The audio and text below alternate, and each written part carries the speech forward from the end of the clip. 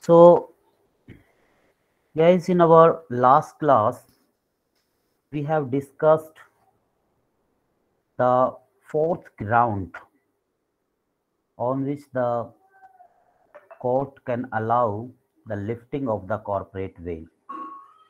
Or you can say the court can allow the doctrine of lifting of corporate veil or piercing of corporate veil or cracking open the corporate cell. And there we have discussed that if the company is formed for the avoidance of the welfare legislation, yes, Section 3 of the Companies Act 2013 enables the persons to form the company as per their, uh, you know, conditions. But if the sole purpose of the company is to avoid the effect of the welfare legislation, and there we have discussed the Workman versus Associated Rubber Industries Limited, 1985, 4 SCC 114. In this case, the Associated Rubber Industry form and another company, Ariel Holding Limited.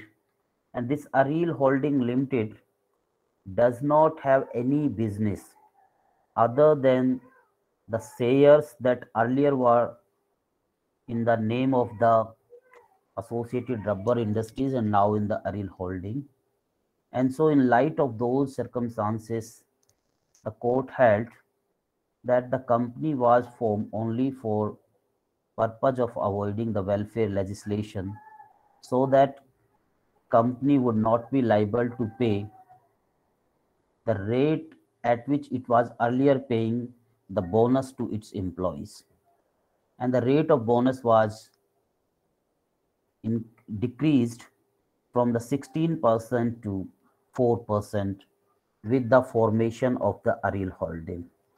And the court allowed the lifting of the corporate veil and decided that the economic reality behind this formation of this uh, new company was only for purpose of avoiding the effect of the the bonus legislation that employees were entitled to and clubbed the income of the Ariel holding in the income of the associated rubber industries and accordingly the bonus was calculated.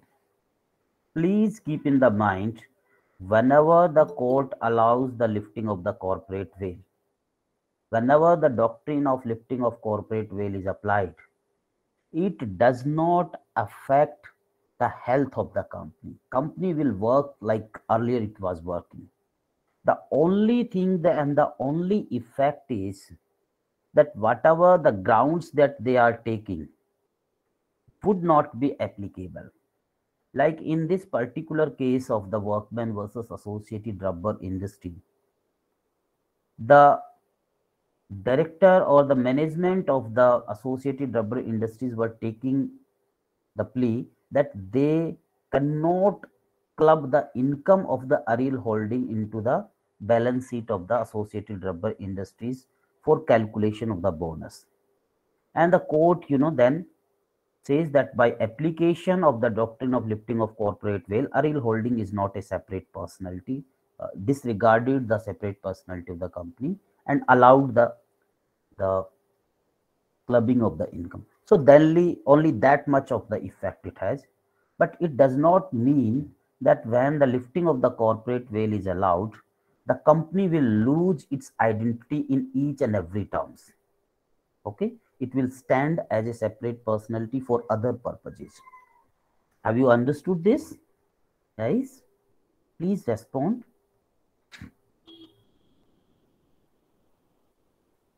Please, please. Yes, sir.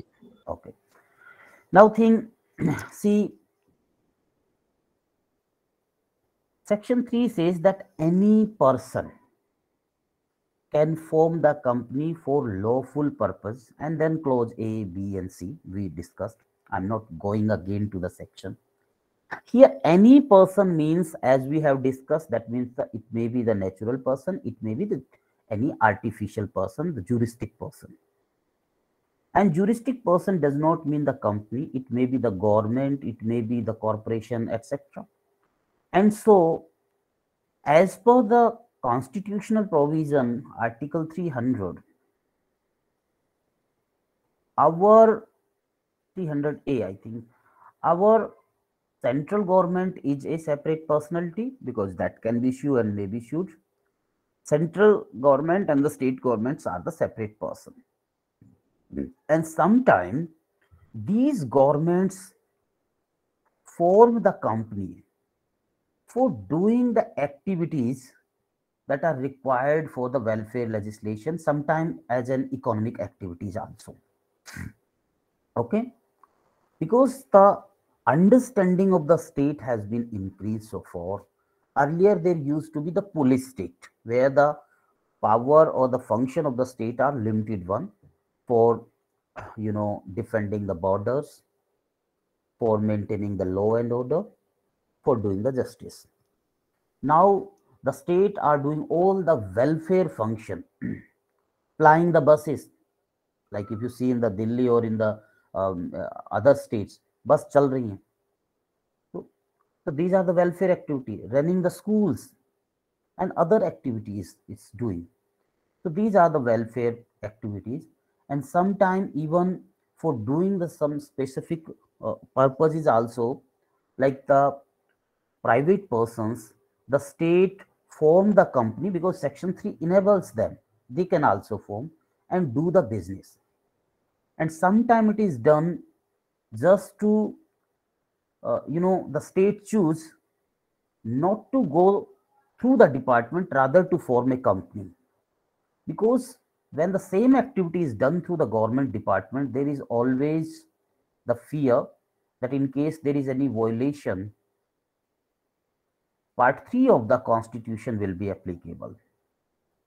Because the violation was to be considered as by the state by the definition of the article 12 and this is our last ground that company as an agency. The government company as such is not the department of the government company. Okay so government company section 245 um, uh, define the government company where the, the percentage of the share is 51 or more than 51 percentage. So that is government company. Section 2, clause 45. And the government company, by virtue of section 9, means it is a company have a separate legal personality. So we cannot say that the government company is the government department or it is the extension of the state. And so as per understanding this new thing through which the state is doing function and the state have more than 51% of the shareholding. In the law, it is a separate legal personality other than the state. Yet the sometime company may be regarded as the agent of the state or the trustee of its members or you know, the court allows the lifting of the corporate veil and see the reality behind it and give the interpretation that it is just an agency of the state. One opportunity court got in the case of Kapila Hingorani versus state of Bihar. In the state of Bihar, there were various public sector undertaking or public sector units, PSUs, for doing different functions involving in different types of the business. And these were the government companies. That's why public sector uh, units. So the government of Bihar, who was the major shareholder or more than 51% of the shareholders, and these PSUs were not paying salaries to their employees. Not paying the salaries for months to the employees is actually the violation of Article 21 of the Constitution. And some other rights also, the trinity of Article 14, 19, and 21. They filed the writ petition against the government, and the government has rejected that the writ petition is not maintainable because the rights, the salaries has not been paid by the PSUs and these PSU are not the state. And so for maintainability of the writ petition under Article 32 of the Constitution, it has to be a violation by the state as per the definition of the Article 12 of the Constitution. The employees of these PSU contended that the PSUs are just the agency of the government. And the arguments from the government is that PSUs are the separate personal body corporate, duly recognized and hence the government of Bihar is not responsible. Government of Bihar cannot be held to violate the rights by not paying the salaries on the time. then the co court has applied the lifting of the corporate veil and held that the government companies is permissible when the corporation is found to oppose to the justice convenience and interest or revenue or against the workmen or against the public policy. And so this is the perfect case where the lifting of the corporate veil applied and it was decided that these companies PSUs are just the agency of the government and there is the rule that the work done by the servant is imputed to the master. So through this agency, it is imputed that the violation by non-paying the salary is that of the government of the Bihar because the government of Bihar is the major shareholder and the government of the Bihar, who is the major shareholder, can take the decision that whether to pay the salary or not to pay the salary. So real power is in the, uh, you know, in the government of Bihar because company as such is a separate legal personality but how it is working? Company does not have the brain. It is working by some persons some natural persons who took the decision in the board of director in that capacity.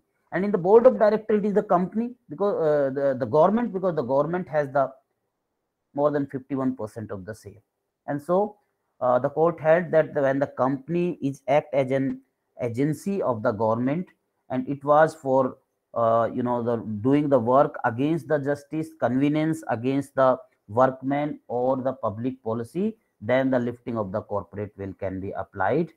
And it has to be held that the company is agency of the government and so the government is responsible. Okay?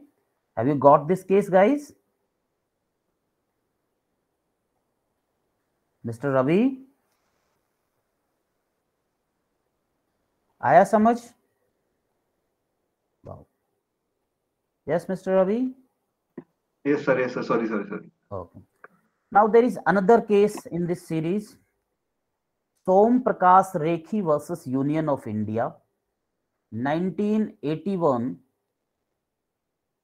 SCC 449 Som Prakash Rekhi versus Union of India 1981 1981 1 SCC 449.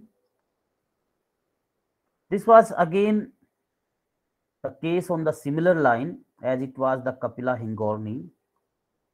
Here there was a company, Burma Shell Oil Storage Limited. And in the Burma Shell Oil Storage Limited, there was this person, Som Prakash Rekhi, who was working as a clerk and he got retired from this Burma Shell Oil Storage Limited at the age of 50 after qualifying for the pension, the old pension scheme. Now there is no pension. We have this NPS new pension scheme. It's like gulab jamun, neither gulab nor jamun. So this NPS, the name is fancy NPS new pension scheme, but actually it is not pension. The way it has its conventional or traditional understanding. And so earlier for applicability of the pension, certain years has to be spent in the services.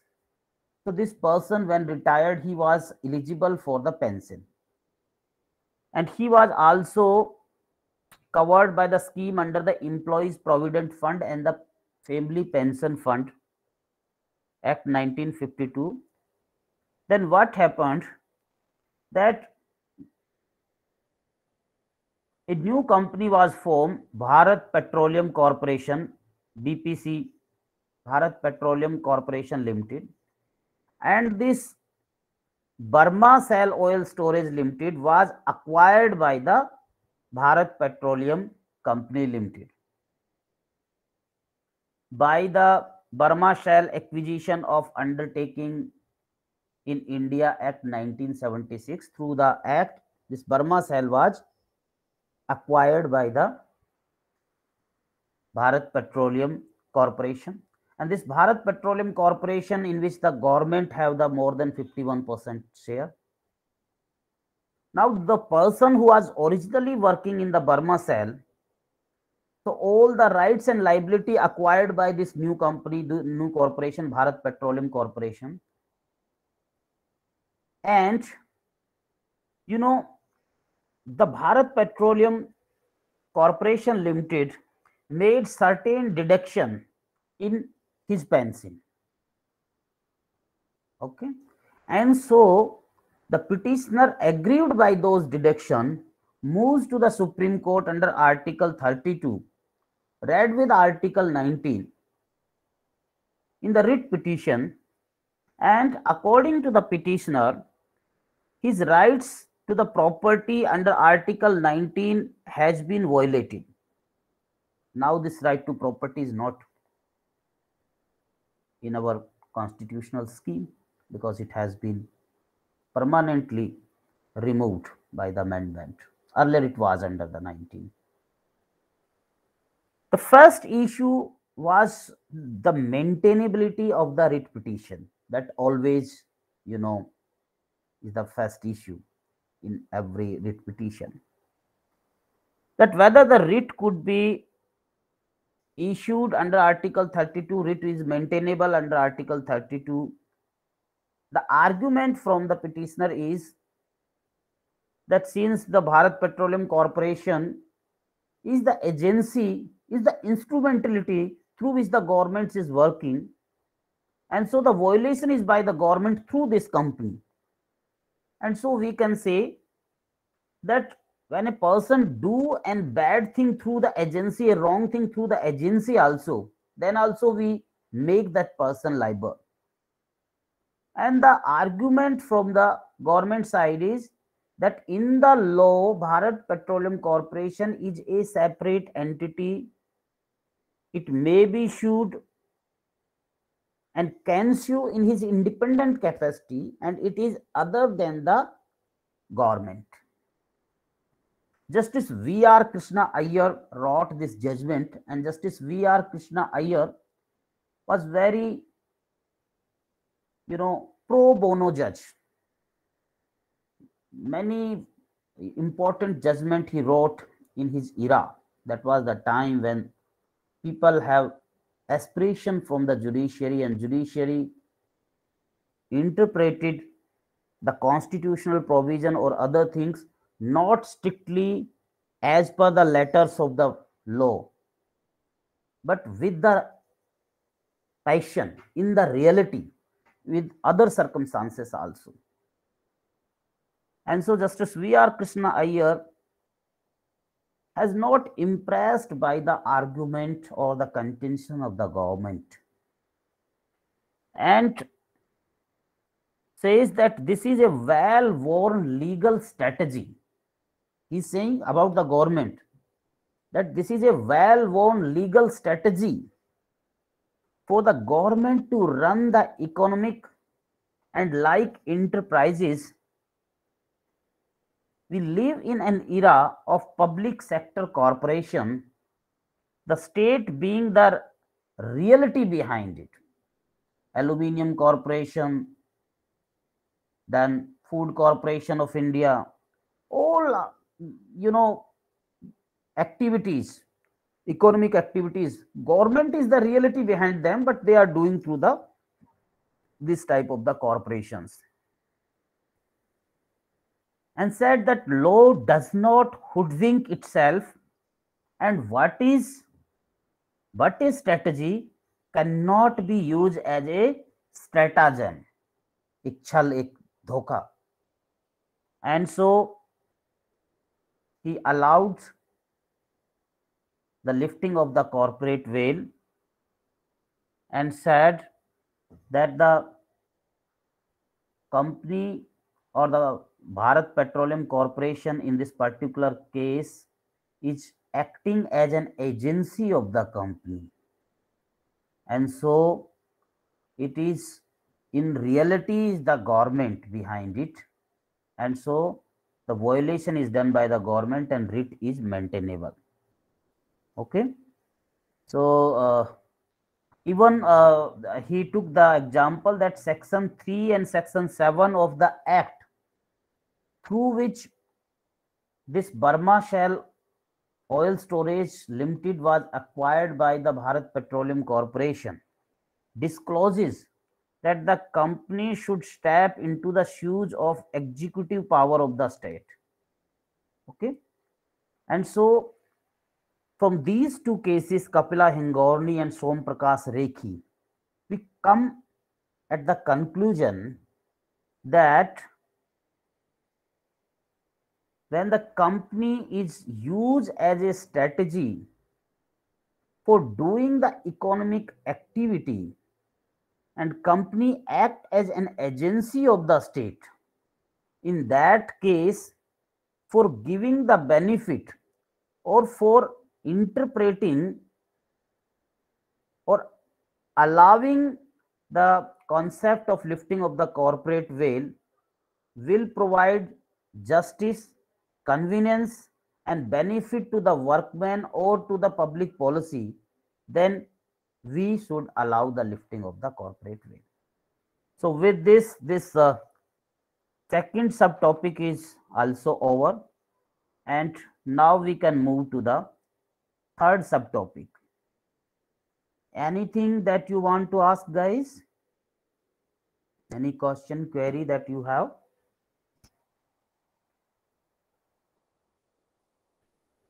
Yes. Arti, Ranjan. No, sir, it's clear. Okay. The third subtopic is about the kinds of the company.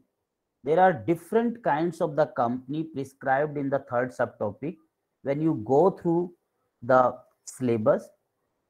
And this is not a conceptual topic.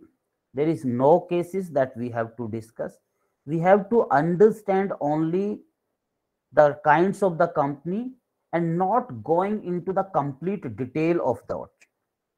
Section 2, 3, when we read, earlier also we read section 3. Section 3 clause 1 says that a company can be formed for any lawful purposes by seven or more person than it would be a public company. Two or more person then would it be a private company. Or one person then in clause c then it would be a one person company. So the first classification is on the number of members of the company on the number of the members of the company company can be classified into three types of the company public company private company one person company public company private company one person company for the public company, the minimum number of the persons are 7. For private company, what is the minimum number of person? 2. or for one person, the one, minimumly and maximumly. Okay. Now, section 2 clause 71 define the public company. Section 2 clause 68 define the private company and section 2 clause 62 define the one person company. Please, any of you read section 2 clause 71, please Find out this section 2 where there are definitions and read section 271.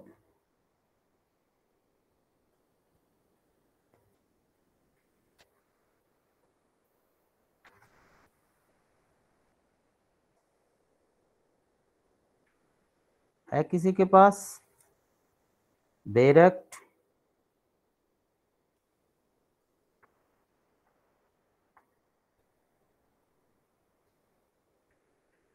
Mr. Abhishek.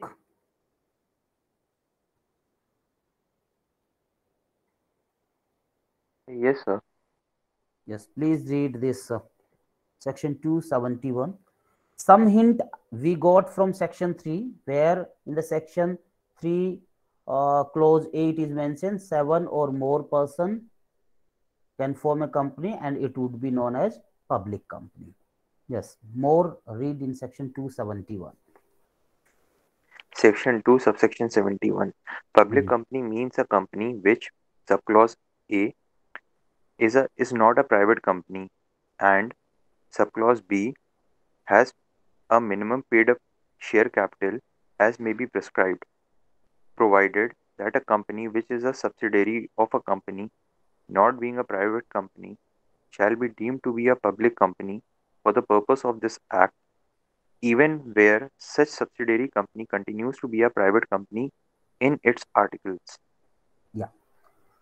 So see section 271 says that public company means that is not private. So this first portion is not important from us to understand. The second is saying having the minimum ca- share capital. That means the public company should have the share capital.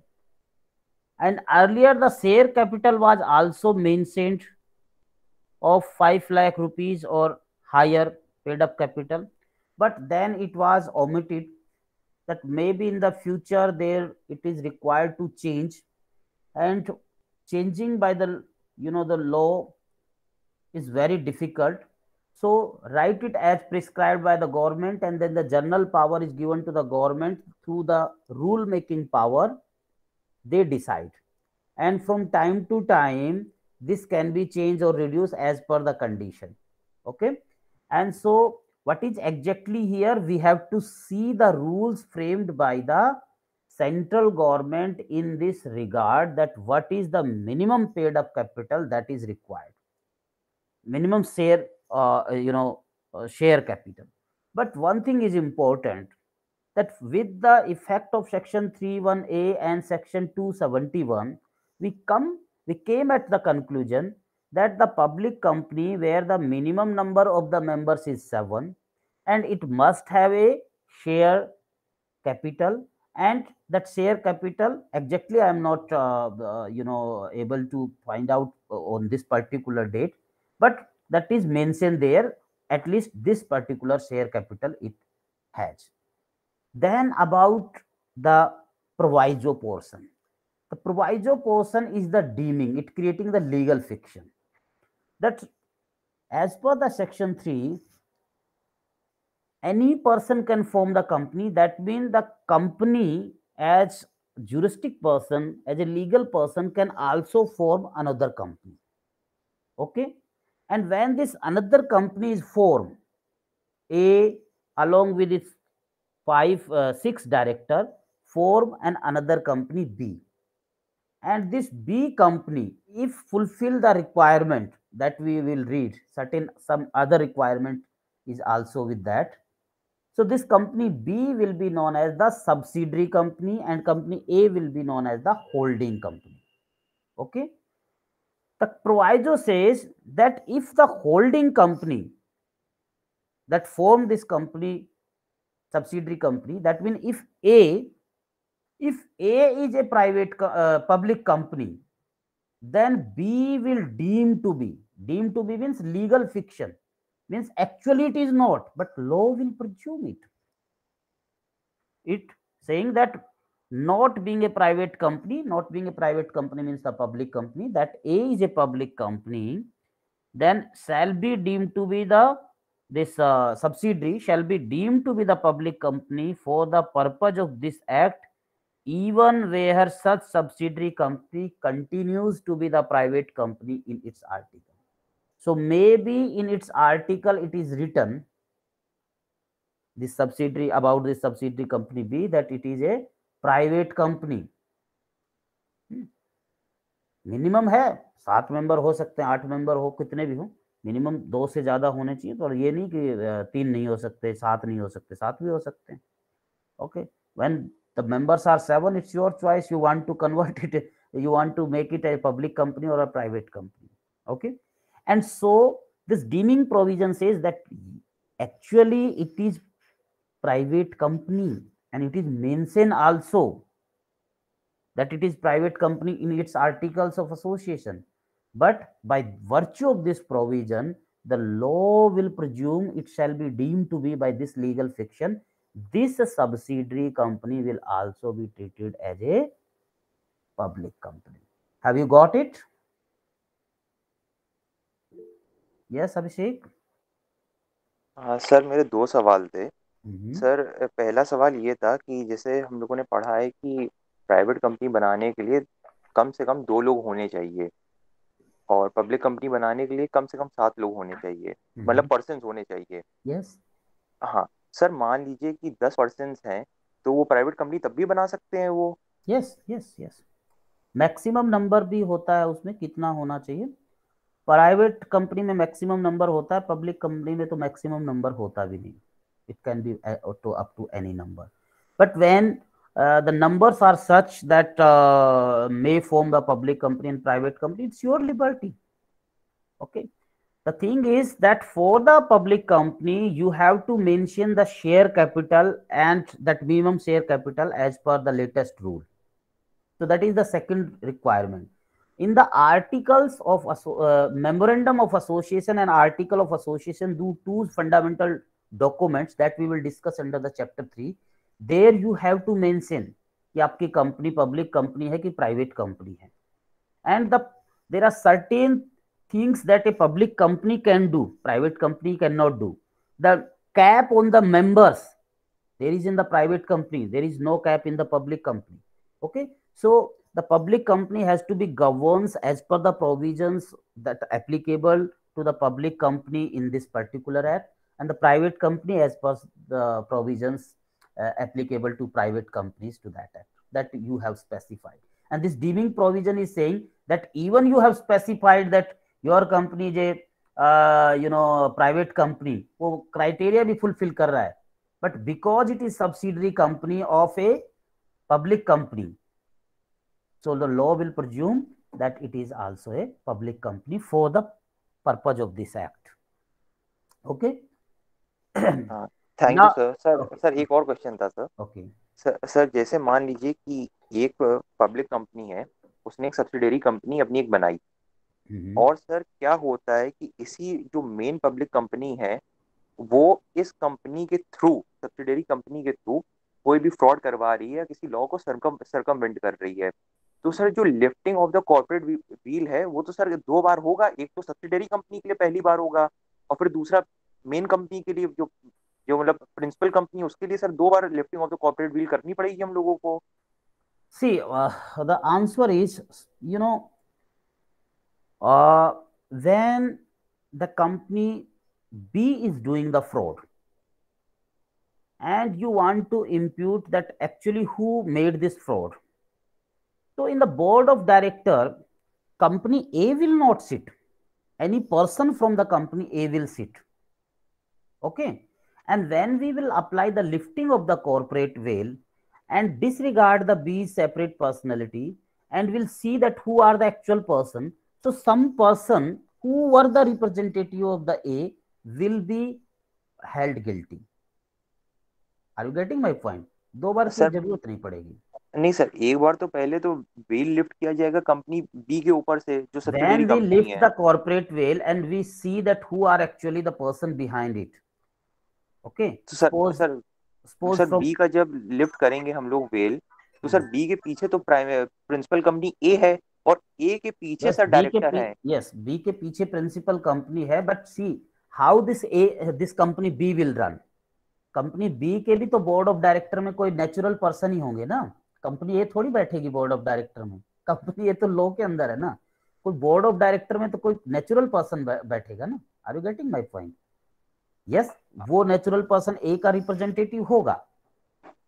But वो अपने आप में ही वो ए के ए जो है responsible हो जाएगा। तो why to you know take back it in to the no to the second step because even if you say that this person who was sitting in the board of B and he was acting on the behest of the company A तो भाई वो behest of company A are then also he must understood his limitations and he has to act as per the law okay but if it is required even to understand even to you know catch the culprit behind the screen so in that case in the second time also you know the company the court can apply there is no you know prohibition in that also okay Abhishek Thank you very much, sir.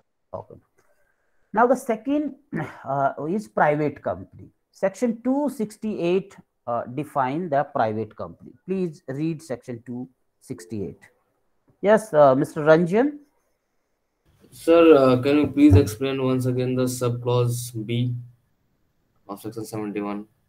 Sir, I have a yeah question. okay okay Sir, okay I have a question too, sir. mm-hmm. Sir, I? Sir, uh, suppose there is a public company, uh, let's uh, consider as A, Mm-hmm. and B is also a public company which is subsidiary to company A.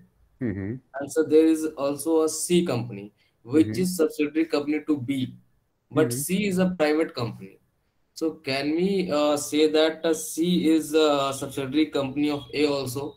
yes yes gradually but when we gradually when we will discuss it was saying Sir, that the subsidiary of the subsidiary is also known as the subsidiary of main Yes, company sir. Yes, sir. This thing to we know, sir. But can we say this because C is a private company? So no can we issue by by virtue of this provi- proviso apply this test to the b and c because Yes. b is the public company c Yes, as such it is private company but because it is the public company so law will deem Yes, Okay. sir. That's what I was deem asking. it to be and then the c nature is also be the uh, you know the public company Ah, well, sir. Thank you, sir. Got Okay. it.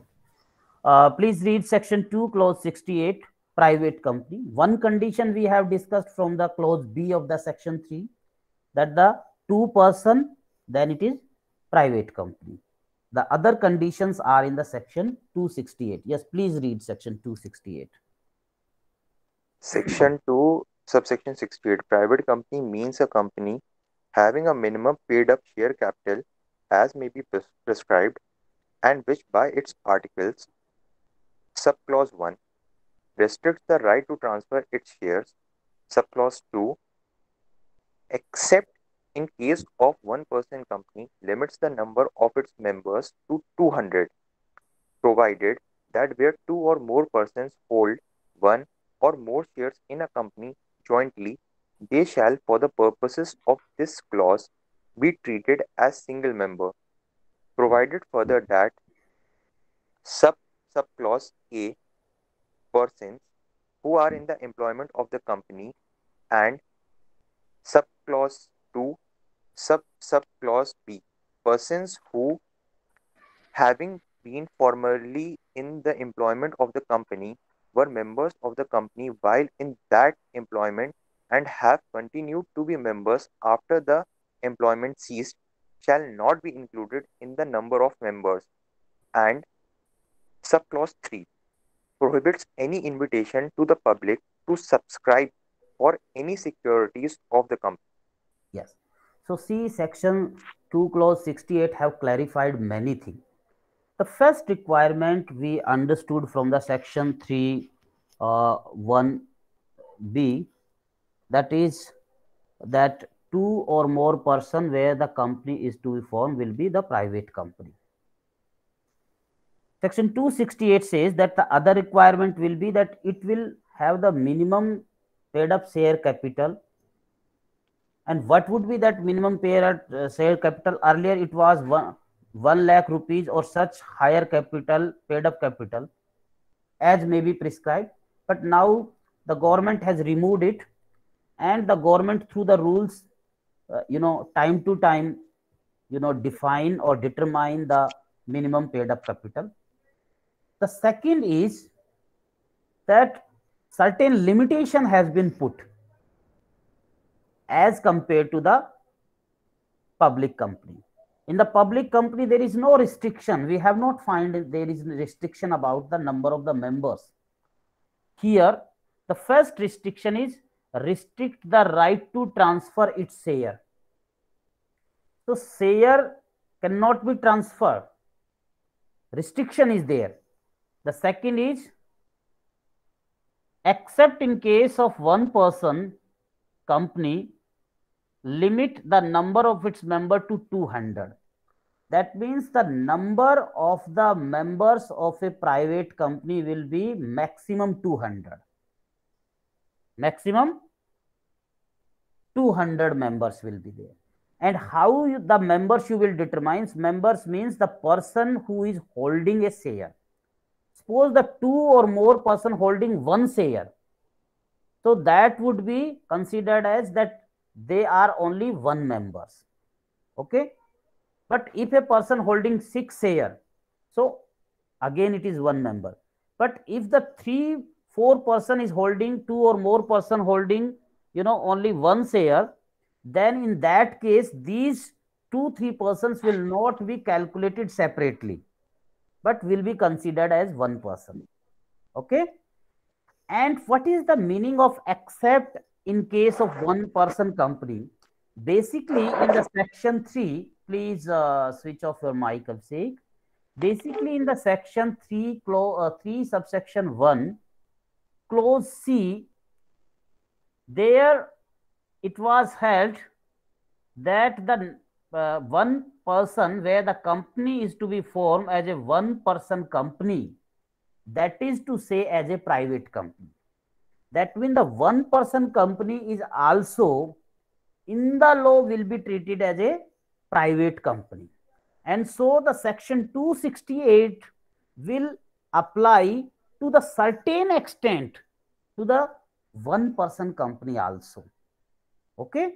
Because it is private company one person company it is also private company but in the private company also some specific type of the company so in the one person company we cannot say that there can be 200 member अरे नाम तो उसका one person company 200 member कैसे हो सकते हैं so in one person company maximum one person will be there if he will die the other person who is uh, sub, uh, you know uh, he wrote in his uh, articles uh, of the association he will uh, you know succeed to his position so this except in the one case of one person company means in the one person company though as per the section 3 subsection 1c it would be a private company but there the number of the members will be one.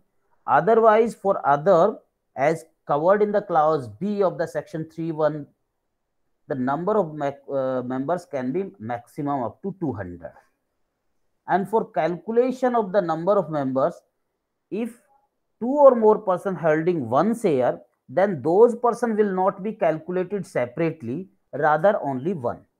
Okay? Restrict the right to the transfer its share. This is the another thing.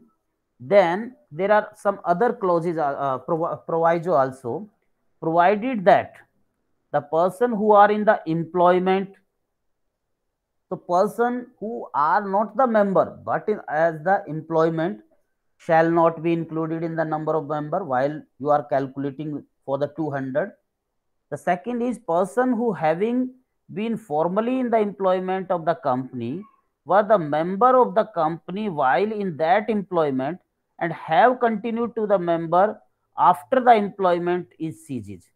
Okay? So sometime you know the company uh, uh, give the share the to its member also that is uh, sweat equity share it is uh, known as. Sweat means Sina types you know.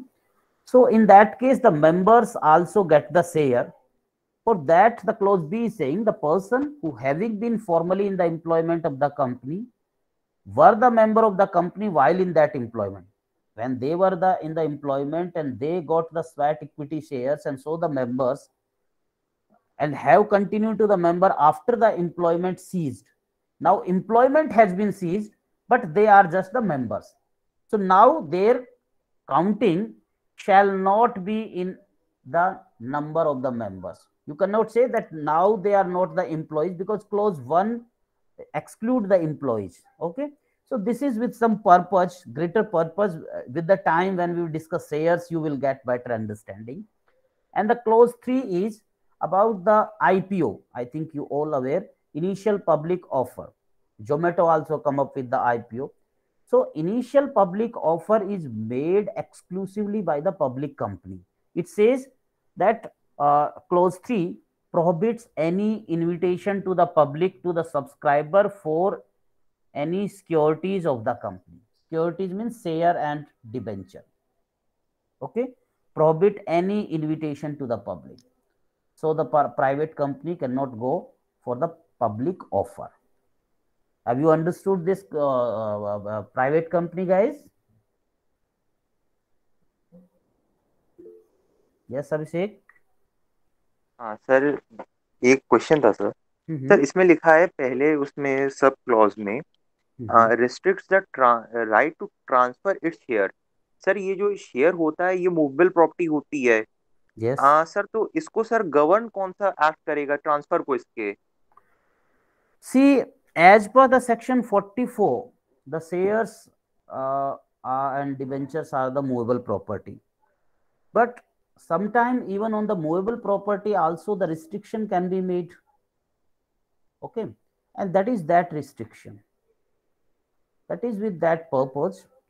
So the restriction to the transfer of the share is one of the uh, you know the private company. In the private company one can become the members the member can be increases but uh, that one person cannot uh, you know uh, what you say that uh, replace him with the some other person okay that restriction is there as per the law are you getting my point sir sir जैसे मान लीजिए कि हम लोग immovable property के लिए हम लोग transfer of property act apply करते हैं टीपीए होता है सर इमूवेबल प्रॉपर्टी के लिए वैसे सर यहाँ पे जो शेयर्स हैं शेयर मूवेबल प्रॉपर्टी होता है तो उसके लिए हम लोग कौन सा लॉ अप्लाई करेंगे कंपनीज़ एक्ट लागू होगा उस पे शेयर के ट्रांसफ़र के लिए see some provisions are in the company act then there are the some provision in the sebi some principles of the movable property when there is the movable property that means whenever you are transferring or whenever you are making the contract then the law of the contract will apply because in the law of the contract we have indian contract act and in the indian contract act section 1 to 75 has the principles of the contract law. And then after 76 there was the chapter there were used to be six different type of the contract. Contract uh, sale of goods act then uh, you know contract of indemnity contract of guarantee partnership then uh, your bailment and the agency. Now this partnership and the sales of goods the provision has been uh, you know uh, you can say um, uh, the new new act has been enacted and the provisions has been removed from that uh, you know indian contract act. But still indian contract has four special type of the contract. Here this principles of the contract while you are making the agreement or the proposal for that the principles of the indian contract will apply. For other conditions some provisions of the uh, you know the companies act where the, the chapter relating to the shares and debenture those apply. And for some other conditions the sebi uh, rules and regulation will apply. So it's the mixed things that we has to apply and the place where this uh, you know sale and purchase of the uh, shares is happen is known as the share market okay so it's not a single act that will apply but these three four statute will apply to govern whole this transfer okay मतलब sir facts and circumstances को देख के हम लोग law apply करेंगे uh, shares के not transfer the के fact and circumstances suppose the question is the contract had been formed or not about that movable property. Okay. So for that but the sales of goods will not apply. The sales of goods will not apply. Okay. But uh, when suppose i want to transfer to you I, I just making it simple but it's not the way you know the shares are transferred. Then i will make the proposal other has to be accepted. So whether the proposal has been uh, you know properly made acceptance has been communicated or no that means the contract has come into the force or not. But it's not that to everything you are making the contract. In the sebi there are some guidelines accordingly the things has to be happen. So these four things these uh, companies uh, law the chapter relating to the shares uh, the contract law the sebi and some other rules also if the government has uh, you know uh, uh, formed all those things will apply into the uh, for you know seeing that whether the transfer was proper or not. It's not simple that by one law we can understand this thing. Okay? Yes. Thank you sir. Ranjan yes? Now the third is uh, uh, one person company section 262 and here the clause c of the section 31 is the important Excuse me, sir. section yes So sorry to interrupt you, sir. My, my my mic was not working at that time, sir. Sir, I was asking about uh, that, sir. Please explain the subclause uh, three, sir, that uh, uh, prohibits any invitation to the public to subscribe for any securities of the company with an example, sir. see uh, the securities means uh, the shares and the debentures. Okay? Securities basically means the things with which the company can get the money. Okay? Suppose the company want to get the money. Company require the money. Company need the money. Who will give the money to the company? Either someone will give as a credit and when the credit is given to the company company issue some document that aapne itna paisa diya aur ye and that document that uh, acknowledge the amount of credit or the that acknowledge that company is debted to this amount to this person is known as debenture. Okay? The share और second thing is वो अपना share बेच दे कि भैया चलो आप भी आ जाओ, पाँच लोग हैं, आप भी हज़ार रुपए लगा लो, आपको भी शेयर दे देते हैं। तो these are the two ways by making और बाय सेलिंग द शेयर और through the debenture company raise the money and these are known as the securities. Okay? So, company, there is the prohibition, like the public company, go and come up with the initial public offer or ipo that these are the conditions the prospectus has been issued and uh, it invite for the public to purchase the share. Okay? Here is the restriction of the public company that the public company cannot give the invitation for the public offer that the uh, inviting the public that purchase our shares or the debentures. So this is the, the meaning of the clause 3 okay ranjan Well, sir, got it, sir. Thank you. Hmm. Now to the one person company, first is the section 2 clause 62 that talk about that if the uh, one person has, has to form the company, then uh, he will form a company will be known as the private company.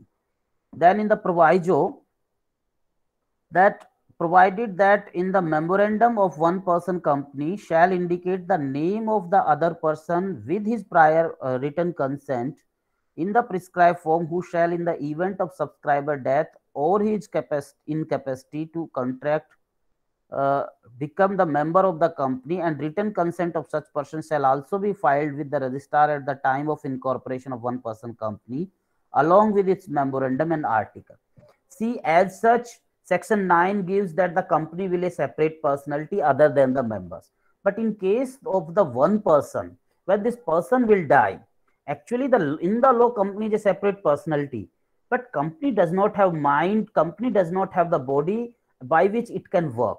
And so practically it is not possible to function after the only member who formed the company and so in the memorandum itself some other person name should also be there and this other person name should not be कि आपको अच्छा लगा आपने डाल दिया with the permi with the written permission of that person that you are putting and after the death of this person the only member of this company this uh, other person will uh, be in the position of that person then the second proviso says that provided further that such person may withdraw his consent in such manner as may be prescribed.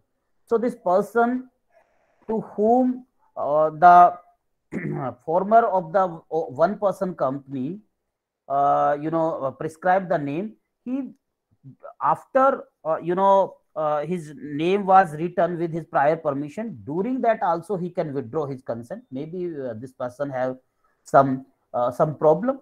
By anything he can he was not now not uh, uh, you know ready to take the charge or he is not ready to be in that position. So he can withdraw. Provided also that the member of one person company may at any time change the name of such other person by giving the notice in such manner as may prescribe. So this third proviso is basically in consonance with the second proviso that what happened suppose a form a company one person company akela hi wo जो है उसने अपनी company form कर दी and as per the requirement he with the permission of B mentioned as a name that B will succeed after my death. Okay. B got some other work. He got the fellowship in the America. And so he said that who will take the, you know, this thing, etc. Maybe something happened. So I don't want to be in this uh, problem. And so B withdraw the name. Now, if B withdraw the name, A must get the liberty to change the other person. Or even if A found at some point of time, oh, B was in the jail, तो वो तो पचास साल की jail पे गया बीस साल की उम्र कैद में गया अब मैं तो कैसे करूँगा the clause c is in both perspective first in the case suppose uh, this nominee change the nominee withdraw the consent then also he can change the name or even if the a found that his nominee is uh, will not be in that position maybe the nominee died before the a in that case so the uh, proviso 3 saying that uh, uh, the member of one person company can change the name. The fourth proviso provided also that it shall be the duty of the member of one person company to intimate the company the change if any in the name of the other person nominated by him by indicating in the memorandum or otherwise within such time and such manner as may be prescribed and the company shall intimate the registrar any such change and such time so this is the duty because uh, the registrar is a public office, and so uh, whatever the changes, one person company or other other things also, you know, this type of the thing provision you will find for other companies also. If the changes is making, that has to be to before the registrar. So the registrar have the knowledge, or registrar is a public, uh, you know, office. Any person can go and check that okay, this happened. okay, so this is uh, you know, the classification of the companies on the number of the members. The second classification is classification of the companies on basis of liabilities of its member. Section 3, subsection 2. Please, any of you read section 3, subsection 2. May I? Yes. A company formed under subsection 1 may be either Mhm. Subclause A. A company limited by share. Subclause B. A company limited by guarantee. Or subclause C. An unlimited company. Yes. Thank you. So, the three types of the company that this section 3 subsection 1 is enabling. Section 3 subsection 2 is saying that any company form under one वो public भी हो private भी हो one person हो कुछ भी हो वो इधर कंपनी होगी limited by limited the members have the limited liability or the unlimited liability. So in the beginning of the class, I said that in the company, when a company form, the one of the advantage of the limited liability. But अगर कोई unlimited लेना चाह रहा हो तो law is not prohibiting. But most of the companies go for the limiting liability. Clause A and B is about the limiting liability, but in the two way. One is limiting by the share, जितना shares है, जितना shares की value है, उतना limiting, उतनी ही liability है. And the second is is through the guarantee, जितना guarantee लिया मैं तो 10% guarantee लेता हूँ. तो suppose at the end the company have the liability of 100 rupees, तो आप 10 रुपए के लिए liable होगे. And the third is about the unlimited company. So this is the classification of the company, or you can say the, the in the second type of the classification we can done. The first we did that the first is the classification of the company on basis of the number of the members, minimum number of the members required to form the company, or the number of the members of the company. The second classification of the company on the basis of liability. Unlimited company, section 2 the third clause I'm uh, lifting first. Unlimited company, limited by guarantee, limited by sale.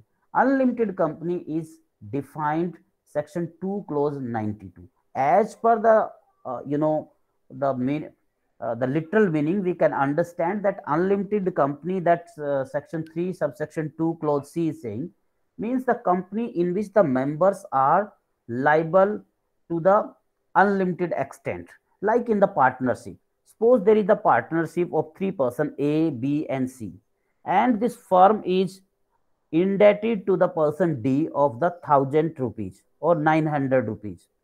So these three person are liable to 300, 300, 300. Okay, that means the liability is not limited to some extent, but liability is as of that of the firm. Similarly, where the liability is as as per the liability of the company divided in the members as per their shares, etc. So that is known as the unlimited liability. Section 292 further define this word unlimited company. Yes, please read section 292.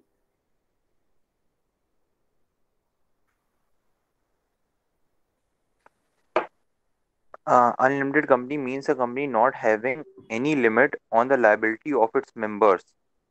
Yes. So not having any limit. Not having any limits means whatever the company will have the liability at the time of the winding up, it would be divided in the members and the members cannot say that we actually liable to only to that extent. Okay. So that is the unlimited company like suppose there would be the 500 members equal having the equal share compositions okay so according the liability will be dispersed ऐसा तो नहीं कि एक ही को सारे की liability तो नहीं मिलेगी but to you know they can not say that we are liable only to the our share etcetera so that is unlimited that their liability will be as per the liability of the company okay now come to the yes abhishek sir मान लीजिए जो company के assets हैं वही कम पड़ जाते तो क्या ये लोग पर्सनली लाइबल होंगे फिर जो शेयर होल्डर्स हैं yes yes they will be liable the, okay the liability will uh, always be uh, in any company but you know in limited liability company the liability will be to the extent either if the guarantee you are taking to the guarantee और if it is to the share to the share only so जितना आपका share value है वो डूब जाएगा उससे ज़्यादा आपको नहीं देना पड़ेगा लेकिन अनलिमिटेड में तो जितना कंपनी का वो बचा है सब कुछ देना पड़ेगा आपको but still people go for that okay so the next is limited by the guarantee this is clause b please read section 2 subsection 21 more about limited by guarantee that what is limited by guarantee Company limited by guarantee means a company having the liability of its members limited by the memorandum to such amount as the members may respectively undertake to contribute to the assets of the company in the event of its being wound up. Yes. So it's very clear. I think no need to explain it. That in the memorandum, the members suppose have taken that at the time of winding up i will take the 5% responsibility. Second say i will take up the 10% responsibility. So at the time of winding up what responsibility they are going to take and that thing is written in the memorandum. So that would be the limited by the guarantee. Okay? So if that particular uh, you know the liability to that extent if it has not been written then it would be unlimited. Or through the share if it uh, uh, written then we will discuss section 221 then it would be limited by share. Otherwise it would be considered that it is a company of the unlimited liability. So for the company of the limited uh, liability by the guarantee means that company that having uh, the liability of its member has to be mentioned in the memorandum. Okay? That this much of the liability they will take at the time of the wound up of the company. The third one is the limited by the share. Okay?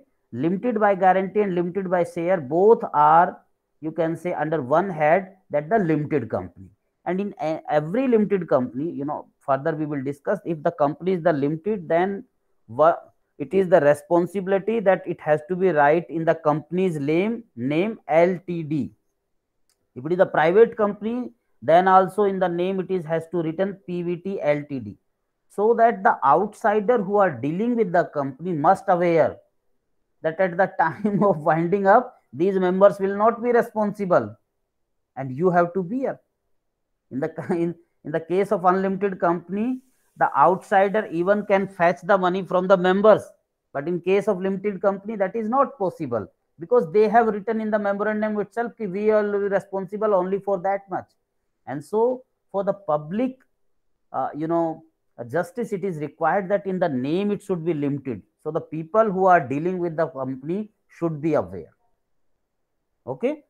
And accordingly they can manage their behavior. The third one is limited by share section 2 subsection 22 yes abhishek read section 2 subsection 22 a company limited by shares means a company having the liability of its members limited by the memorandum to the amount if any unpaid on the shares respectively held by them. Yes.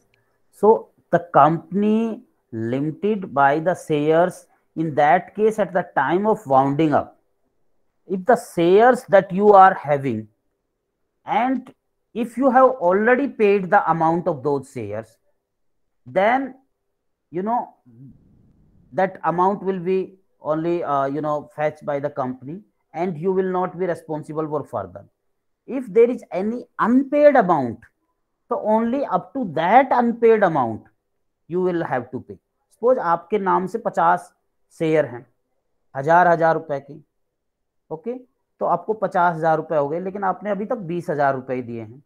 And the company was being wound up so at the time of winding up you have to pay only thirty thousand rupees because that is unpaid share और suppose करो, पहले आपने सारे share paid कर कर रखे हैं। So it's not that you know when you purchase the share at the time of purchase you have to pay okay? When we will discuss the different types of the share and different types of the capital, there we will discuss share capital paid up capital etc etc and you will better understand it so with up to that you, you have to understand only to that extent that only the unpaid amount of the share in the name of the members will be responsible that company will be known as the limited by share company and this thing has to be mentioned in the memorandum itself okay guys yes abhishek हाँ sir एक सवाल था sir Sir जैसे हम लोगों ने इसमें पढ़ा है कि जो कंपनी लिमिटेड बाय शेयर्स होती है लिमिटेड बाय गारंटी होती है उसमें एक लिमिटेड ही रहता है अनलिमिटेड वो नहीं होता है। मतलब मेंबर्स उतने लाइबल होते हैं जितना उनका शेयर होता है या जितनी उनकी उन्होंने गारंटी दी होती है। Right right right. मान लीजिए सर यही प्राइवेट कंपनी कोई ऐसा काम करती है कि इस लॉ को सर्कमवेंट कर देती है टैक्स इवेड कर देती है और lifting of the corporate veil हम लोग अप्लाई करते हैं ऐसे केसेस में। तो और मेंबर्स पे बात आती है कि भाई तुम लोग रिस्पॉन्सिबल हो हमने कॉर्पोरेट बिल उठा के देखा कि तुम ही लोग इसके पीछे हो। और सर मान लीजिए कि अगर वो लोग कहते हैं कि ठीक है हमारी कंपनी तो प्राइवेट लिमिटेड है तो हम लोगों की लिमिटेड लाइबिलिटी है हम उससे ऊपर नहीं देंगे।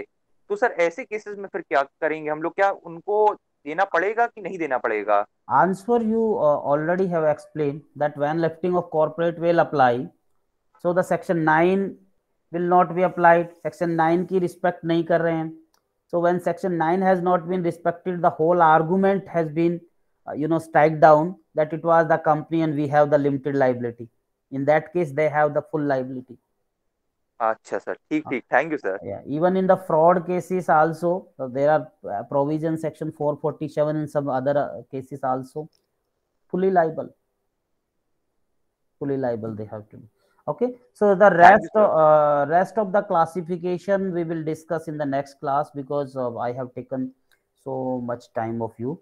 Uh, you are feeling bored uh, uh, because aisa nahi ki ek hi mein sara padha dein there are three other type of the classification. The third type of the classification is classification on basis of the place of incorporation. If the company is incorporated in india then it is indian company.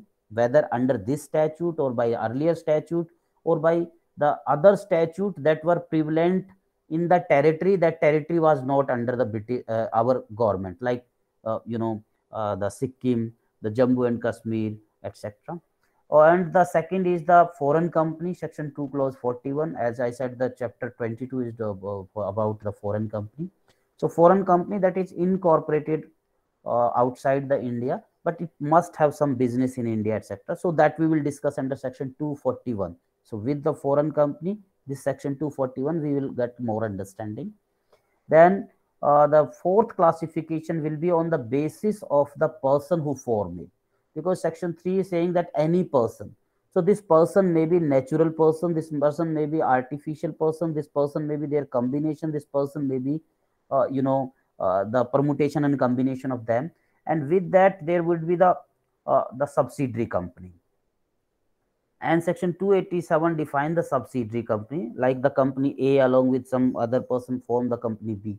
So b will be subsidiary company if it is satisfying with other condition as mentioned in section 287 every time it would not be subsidiary company. Okay? When a when the uh, this b is satisfied as a subsidiary company in that case a will be known as holding company section 246 and when the number of the members uh, shareholder is 51 or more than one by the government central government or the state government of india so that would be the government company. And there is another is the associate company section 2 six, clause 6 okay? Then the fifth classification will be on the size of the company. And here uh, you know on the size of the company there is one uh, type of the company small company section 285 certain limit has been put on that uh, uh, the size of the company like uska uh, paid up capital or uska profit वगैरह and accordingly there are some provisions that are applicable exclusively for the small company so that justification all these things are important for your understanding uh, generally it is it would not be asked in the exam this time because uh, you will write the OBE तो वहाँ तो problem base होता है but you must be aware sometime may be वो एक छोटा portion पूछ ले कंपनी के साथ में कि फिर लिमिटेड को भी define in define limited company and then problem वो पूछ ले ऐसा कुछ करके so we have to discuss so i need uh, a half lecture or one lecture for uh, finishing this and then this topic will over we will move to the next topic uh, with this today class is over if you have any question query you can ask